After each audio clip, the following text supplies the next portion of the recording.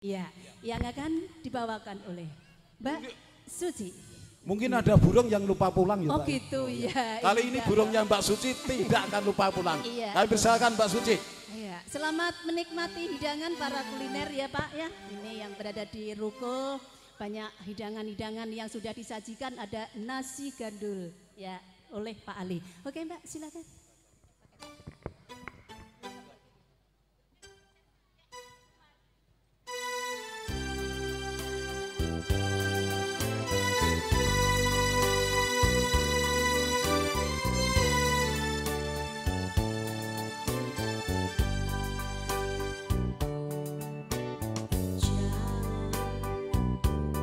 kau tanya lagi Mengapa memerah mataku ini? Coba, coba jawab sendiri. Mengapa air hujan